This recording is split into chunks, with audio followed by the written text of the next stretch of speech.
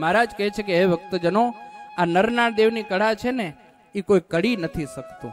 એક નટની કળા પણ તમે ન કરી શકો, તો આ નરનાળ દેવની કળા તમે કેમ કરી શકો? એ તો સાક્ષાત ભગવાન છે. મહારાજ કે, આ નરનારાયણ દેવને વિશે મરણ ભાવ પણ કલપજો નહીં. કે આ તો ઋષિ છે એક દિવસ મરી જશે, આવું ક્યારેય વિચારજો નહીં. નરક ગામી નરક ગામી થાશો, ચોર્યાસી લાખના દુઃખની અંદરથી તમે છૂટશો નહીં. મહારાજ કહે છે કે જે નરનારાયણ દેવને અજર અમર ઈચ્છે, તો ઈ લખ ચોર્યાસીમાંથી છૂટી જાય, તમામ કર્મમાંથી છૂટી જાય છે. માટે આપણા ઉદ્ધવ સંપ્રદાયની અંદર હવે મારે નરનારાયણ દેવની પૂજા કરાવવી છે. માટે તમામ હરિભક્તો આ નરનાળ દેવ લઈ જાજો અને આ નરનાળ દેવની પૂજા કરજો. જે નરનાળ દેવની પૂજા કરે એ જ અમારા ઉદ્ધવ સંપ્રદાયનો આશ્રિત છે. એક એક હરિભક્તની પૂજાની અંદર નરનાળ દેવ હોવા જોઈએ. મહારાજે એમ નથી કીધું કે અમદાવાદ દ્વારા દેશને રાખવીને વડતાલ વાળાને લક્ષ્મીનારાયણ રાખવા એવું નથી કીધું. બંને દેશની અંદર નરનાળ દેવની પૂજા થવી જ જોઈએ.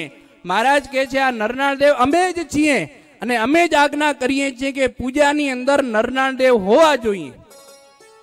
એટલા માટે ભક્તજનો ખાસ આગ્રહ છે સંતોનો. કે પૂજાની અંદર નરનાળ દેવ રાખજો. ઘરની અંદર પણ નરનાળ દેવની મૂર્તિ હોવી જોઈએ. મહારાજ કહે છે કે, જુઓ ભક્તજનો, આ નરનાળ દેવ છે ને એને ક્રોધ નથી ગમતો. અને માન પણ ગમતું નથી. તો આ નરનાળ દેવની આપણે પૂજા કરશું, નરનાળ દેવની પ્રાર્થના કરશું, તો આ નરનાળ દેવને ક્રોધ નથી ગમતો ને માન નથી ગમતો ને, એમ આપણે પણ ક્રોધ અને માન છે ને એક દિવસ છૂટી જશે.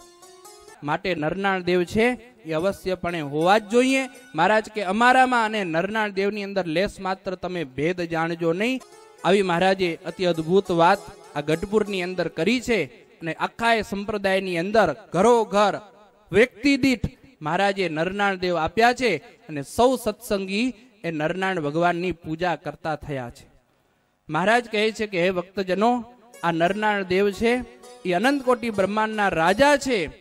છતાં એ તપ કરે છે એ તપ છે એ પોતાના ભક્તો માટે કરે છે, બીજા માટે નથી કરતા. માટે જો આપણે નરનાળ દેવનો આશ્રય હશે, તો મહારાજ કે તપનું ફળ આપણે ભગવાન આપશે.